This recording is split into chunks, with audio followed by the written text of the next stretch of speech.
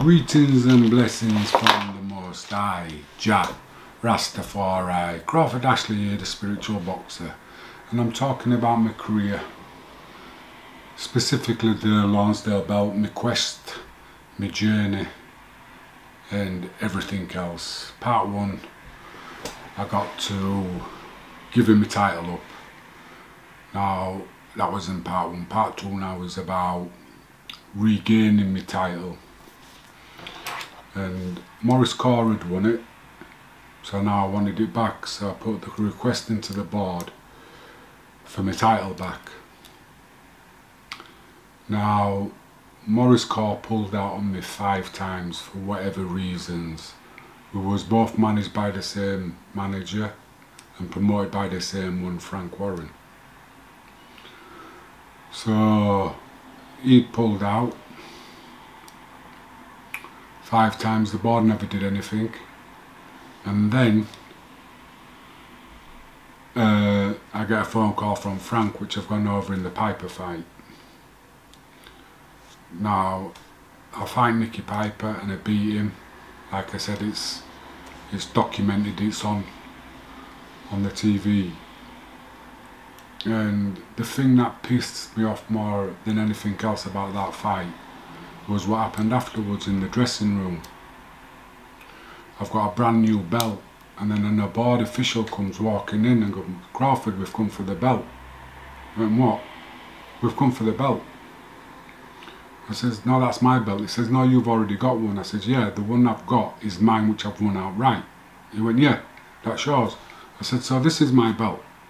I says, until I lose it in the ring, then you can have it back, but right now it's my belt.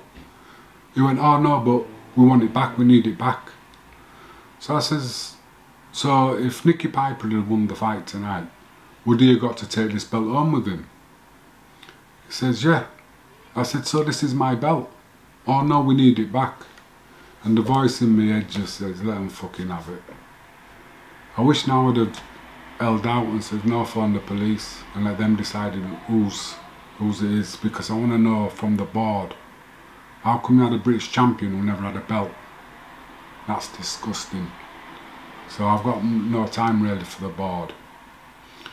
And after the Nicky Piper fight, which was in 94, my next defence of my British title was in 98. In the rule books it basically states a British champion has to defend his title every six months. But yet, mine was four years between Nicky Piper and Monty Wright before I defended my title. When I asked John Morris, he said there was nobody in Britain good enough. And that's, that's, that pisses me right off. And then, when I lose to Klemetsen, they give me a six month ban and my first fight after the six month ban was against Monty Wright defending my British title. Mm. So it comes to the Monty Wright fight and I can that makes me smile because I get invited down to Sky TV to talk about the fight and we sat down outside in the garden and the interviewer tells me that they've had Monty Wright down there and he knows how to beat me because he knows how I'm going to box. I just looked at him and says, how does he know how I'm going to box when I don't even know how I'm going to box? And the guy says, what? Don't you look at videos? I said, no, I never looked at videos. To me, they're a problem, it's a puzzle. And I got to solve it and I got 36 minutes to solve it. Because Monty Wright can't box the same way against me as he boxes against somebody who's a 5 foot 11 come forward type of fighter. How can they fight the same way against me when I'm six foot three and I'm Ranger? And um, Monty Wright lasted, oh no, yeah, before the fight was outside, it was in York Hall. And I remember being upstairs and listening to his ring music and his ring, ring walk music was, I believe in miracles. And I just went, not tonight, no way. I believe in miracles not tonight. And I went in and I stopped him in, I think it was the second or third round, I'm not sure. But I remember looking out into the audience and about the third row back from ringside, there was a Rasta man just sat there and he just sat with a smile on his face. And I just thought to myself, yeah, you know, it was like, I'm glad to see you back. And I was glad to be back where I belonged, the champion, you know, doing what he did. And then my next fight was against um, Tony Booth, same in 90, 98. And this is when the second bout with Tony Booth. And the first one, I think it lasted one round, but Tony never came. It was short notice. He got in. I didn't like it, and he didn't like it. And there were a lot of shenanigans went on at the weigh-in. I remember going down there, and the weigh-in was supposed to be at two o'clock, two or three o'clock. And I got there, me and Tony got there on time. And we were waiting, and we were waiting, and waiting. It was a long wait, man. And I wasn't bothered. And Tony says to me, how come you're not kicking off? And I says, there's nothing to kick off about because we're all in the same boat. So I'm, I ain't bothered. And then the scales come across Hull. They've come up two flights of steps and they've put them down in the room. And then there's a like chatting amongst the officials, can't put them there. We have to put them over there. So they pick them up and move them somewhere else. And they're, they're happy with them there, but not on carpet. So they have to go find some board and they put them on board. Now it's time for check weights. And I'm the first one on the scales. And I weigh 12 stone 8. Now I know the scales are wrong. And all I can hear is whispering behind me. Them scales it's heavy, it's heavy, it's got to lose weight. And the official says to me, um, you've got to lose weight. And I just said to him, I know my job, you just do your job. And then Tony Booth got on the scales and I think he was 12 stone 9. And he went, them scales are heavy. I went, I know they're heavy. Everybody who weighed in, weighed in heavy. And Paul Ingle were on the show. And Paul Ingle came and he was drained. Maloney wasn't there and he got on the scales and went, fucking, fucking hell, of them scales. I says, no, don't worry about it, Paul, them scales are alright. Now the kid who Paul was boxing, his manager, promoter and agent is a guy called Philip Fondu. When he got on the scales, he was bang on. And Fondu basically said the scales are right. Now the official pipes up that everybody has to skip off weight. I told him straight, it, the thing is, is this is all documented because the cameras were there. I told him straight, I asked skipping no weights off, I want to see the, the scales calibrated. The guy showed me a piece of paper that was calibrated and I said, you fucking stupid I've come across Hull up two flights of steps, you bang them down over there, then you pick them up and bang them down over there and then you tell me they're calibrated. You know what I mean? And then another guy said, we've got to go over to another place and do the weighing. So we did the weighing somewhere else and we were both underweight. And then the guy who brought the scales says, them scales are heavy. I said, well, if they're heavy, them scales are heavy. And he just went, yeah, I know. So you were putting people's lives at risks, at risk, because of what? Because one person said so much right when everybody knows it's wrong, but the officials don't want to go against a promoter a manager, an agent who brings fighters in. It's wrong.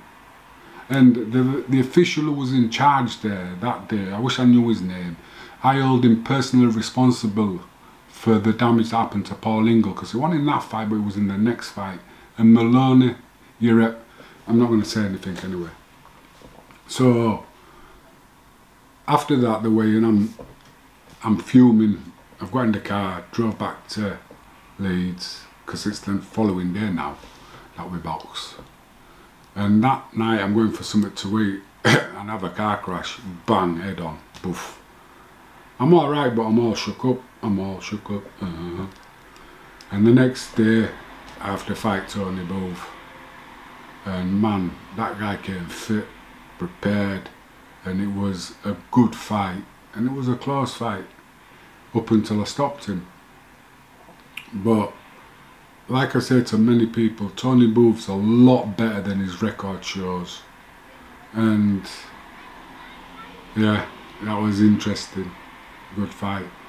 And then after that, um, I think I boxed Salavangi, Joe Salavangi for the vacant European. That's a story I'll tell you another day. And then I lost to Clinton Woods. And it was because I was, well, not because of anything, but that, the Woods fight, I was supposed to be fighting Henry Wharton. And when he pulled out, I was, I, I was depressed, really depressed.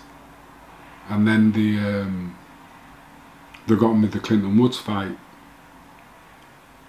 and I think we had to postpone it because I was I got a virus or something. But I remember I couldn't get down to weight, and the day before the weigh-in I weighed 13 stone three,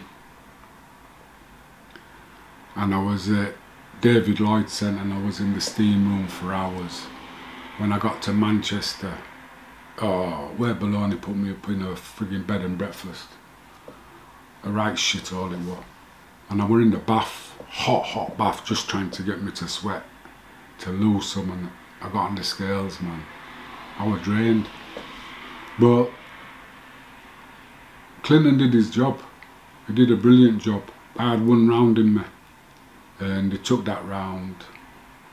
It took me well. I took the first round, and the referee said if I could have done the same in the first as in the second as I did in the first, they'd have stopped it. I wish I could have done. But Clinton beat me, beat me fair, took me off to him and what a nice guy he is.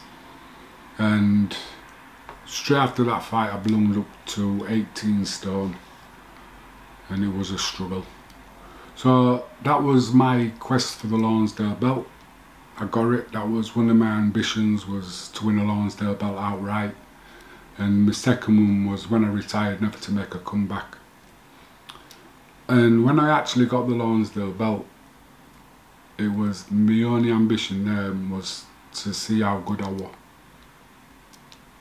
Just to see how good I was because I was the British, European and Commonwealth light heavyweight champion. That's like a third of the world.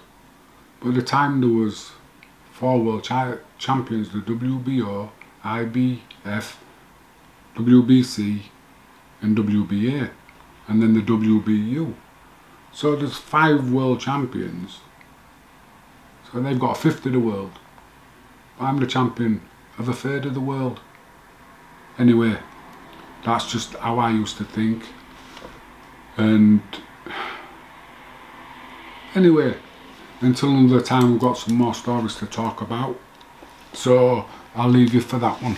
Until next time, bye.